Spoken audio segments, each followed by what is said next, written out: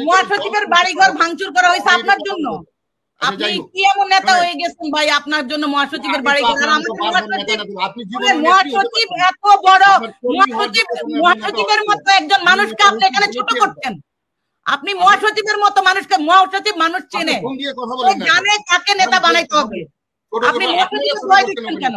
মহাসচিব যদি আমাদের মতো নেতা কর্মীদেরকে সময় না দিয়ে আপনাকে সময় দেয় বেশি তাহলে মহাসচিব ভুল করবে। আমি মনে কীভাবে আপনারা কোন ইয়ে কোণঠাসা করে রেখেছেন?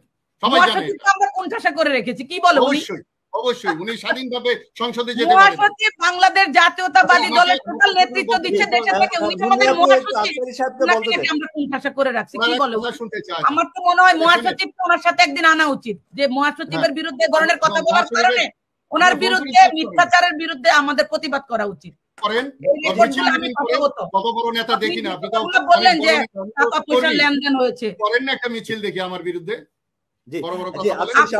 আপনার বিরুদ্ধে কিসের মিছিল করব? আপনি কি যে আমরা শেখ হাসিনার বিরুদ্ধে মিছিল করেই কুল পাচ্ছি না। আপনার জন্য মিছিল করব? চরিত্র। এই হলো এই দলের চরিত্র যে কালকে কথা বলতে দিবে না।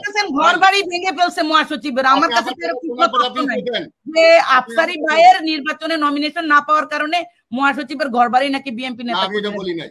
আমি এটা বলি নাই।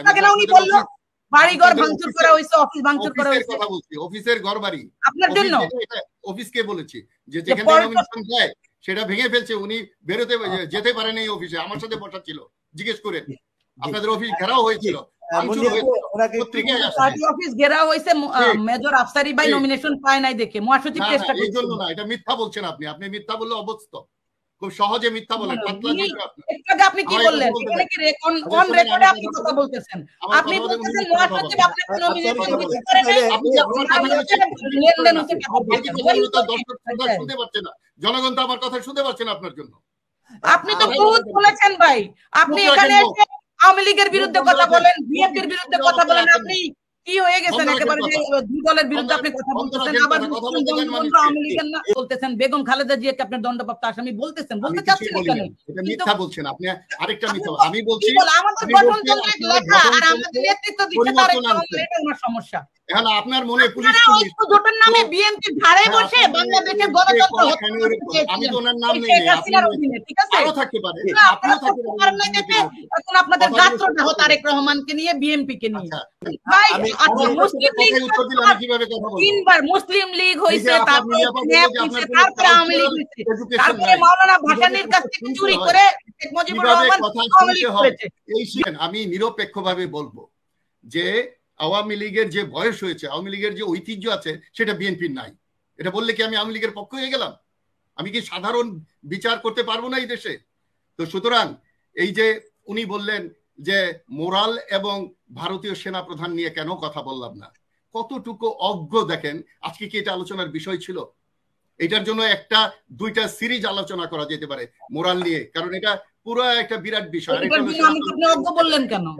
প্রধান আবার আমাকে বললেন কেন আপনি? আবার ওনাকে বলেন ইয়ে যে কথা বিভিন্ন প্রসঙ্গে আমরা কথা বলেছি। আমার কথা বলতে উনি দিচ্ছেন না আপনি আমরা কথা বলেছি।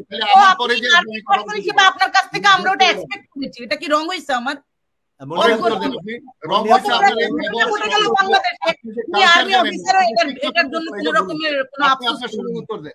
এটা ভুল হয়েছে যে গরুর হাটে চলে গেল গরুর হাটে গেছে বিএনপি। আপনার কাছে খুব মজা লাগছে। আপনারা তো গরুর হাটও পান না।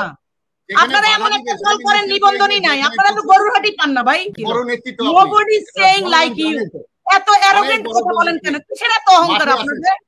এত অ্যারোগেন্ট কথা বলেন কেন? আপনি আমাদের মাঠে যেতে বলেন বলে যেতে বলেন আমার আমার বাপ মুক্তিযোদ্ধা ছিল আমরা জাতীয়তাবাদের চেতনায় উজ্জীবিত। আমাদের অহংকার আপনার মতো মানুষের থাকবে বলেন? আপনার আচরণ করে কেন? কিন্তু একটা লজ্জাস্কর কথা এখানে বলতে চাই দ্ব্যর্থহীন ভাষায় যে যেই দলটি এই জাতিকে একত্রিত করে বঙ্গবন্ধুর নেতৃত্বে দেশ স্বাধীন করার জন্য একটা মুক্তিযুদ্ধের চেতনা তৈরি করেছিলেন সেই চেতনা আমরা ব্যানার পোস্টার সাইনবোর্ডে আর মুখে ফেনা তুলে ফেলা ছাড়া বাস্তবে কোনো মুক্তিযুদ্ধের চেতনা দেখা যায় না। চুরি চোরটা যেমন বঙ্গবন্ধু বলেছিল, আমার আশেপাশে সকল চোর চোরটারা আছে। শেখ হাসিনা বলেছেন যে, আমার দলে আমাকে ছাড়া বাকি সবাইকে কেনা যায়, কেউ প্রতিবাদ করেনি। বিশ্বাস করুন, আমি ছাত্রলীগ করতাম। আমি থাকলে আমি একটা প্রতিবাদ করতাম যে, না, আমি তো এগুলো করছি না। কখনো ঘুষ খাই নাই, কখনো চুরি করি নাই, আমাকে কেউ কিনতে পারবে না। এরকম একজন আওয়ামী লীগের মেরুদণ্ড শক্ত করে দাঁড়াতে পারে নাই। বরং মমতাজের মতো এমপিরা গান গেয়ে বলছে যে আমরা বিদ্যুৎ দেব। আর বিদ্যুতের কি অবস্থা? বিদ্যুৎ নিয়ে কত ট্রল হচ্ছে? বিদ্যুৎ নিয়ে অনেক কিছু হয়ে যাচ্ছে। আমি আজকে অত্যন্ত ব্যর্থহীন ভাষায় বলছি, আপনারা দুজন নারী নেত্রী, আওয়ামী লীগের একজন নাতি, নারী নেত্রী একটা টক শোতে বলেছে যে আমরা যখন দল করি সিনিয়ররা আমাদেরকে বউ হিসাবে ব্যবহার করতে চায়। আপনারা দর্শন বন্ধ করবেন কীভাবে? আপনাদের নিজের অবস্থানই তো আপনাদের দলে কারও নাই। আমি নিজে কানে শুনেছি, পারলে আমি আপনাকে রেকর্ড পাঠিয়ে দিব। উনি আক্ষেপ করে বলেছেন যে সিনিয়র নেতারা আমাদেরকে বউ হিসাবে পেতে চায়। জামাতকে নিয়ে নাটক শুরু হয়েছে স্বাধীনতার পর থেকেই। কখন নাটক হয় নাই? এবং এই নাটকের চরিত্রে তাদেরকে অভিনয় করতে হচ্ছে কেন জানেন? সত্য কখনোই ইয়ে থাকে না। পাকিস্তান যেমন আমাদের কাছে ক্ষমা চায় নাই, আমি ব্যর্থহীন ভাষায় বলে, বলতে চাই, এই একজন মাওলানা সাহেব একটু আগে দেখেন, মাওলানাদের কথা বিশেষ করে গ্রামবাসী এবং যারা একটু কম শিক্ষিত, তারা পীরের মতো মানে। একজন মাওলানা শুরু করলেন কথা বলে যে, আমি কোনো দলের নই। কিন্তু উনি জামাতের ইয়েতে যাবেন। আমি প্রশ্ন করলাম, অন্য দলে যাবেন না কেন? আওয়ামী লীগের আমলে বাংলা ভাষাকে যতটা নিগৃহীত করা হয়েছে, নেতা নেত্রীর মুখে যেই ভাষা উচ্চারণ তো হচ্ছে, এটা যদি স্যাংশন না আসতো আর বন্ধ না হতো, এখন আর এই খেলা হবে, এটা বলা হবে, এরকম বলছে না। অন্য কথা কিছু বলছে না। এই হয়তো মাথা গরম হয়ে যাচ্ছে, বলছে যে, আমরা আমেরিকায় যাব না। না গেলে আমেরিকার কি হবে? আওয়ামী লীগ যদি গণতান্ত্রিক হতো, জাসদের জন্ম হতো না। বাংলাদেশের গণতন্ত্রকে বিশ্বাস করে বিএনপি কিন্তু ডক্টর কামাল হোসেনের নেতৃত্ব, নেতৃত্বকে মেনে নিয়ে ধানের শীষ প্রতীক তাকে দেয়া হয়।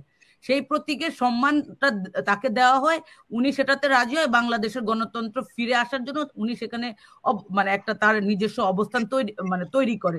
সেখানে অ্যাজ এ সিনিয়র বা বাংলাদেশের পলিটিশিয়ান হিসেবে তাকে সবাই সম্মান করে।